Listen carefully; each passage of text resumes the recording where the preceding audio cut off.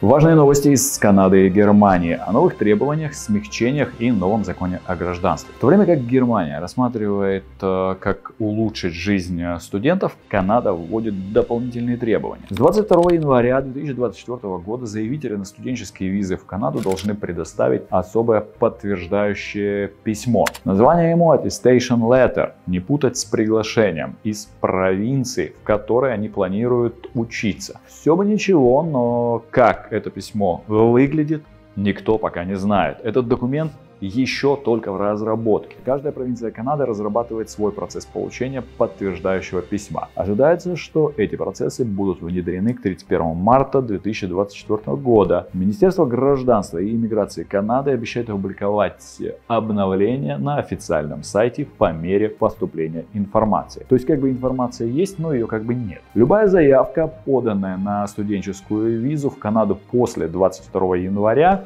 без подтверждающего письма будет отклонена. Новое правило не коснется следующих категорий. Несовершеннолетний ребенок, подающий заявление на обучение в начальной или средней школе от детского сада до 12 класса. Студенты, подающие на визу для обучения в магистратуре, аспирантуре или докторантуре. Студенты, продлевающие свой студенческий ВНЖ на территории Канады. Если честно, вся наша команда в шоке. Получается, на студенческую визу нельзя подать без документа, которого еще не существует. Многое мы повидали на своем веку, но это, конечно, ребятки, уже перебор. Мы постоянно следим за обновлениями и будем держать вас в курсе. Не забудьте подписаться. А вот Германия приняла решение изменить правила получения гражданства. Теперь процесс станет гораздо проще и быстрее. Молодцы немцы. Первым пунктом идет сокращение срока. Теперь гражданство можно получить уже после трех лет проживания в Германии.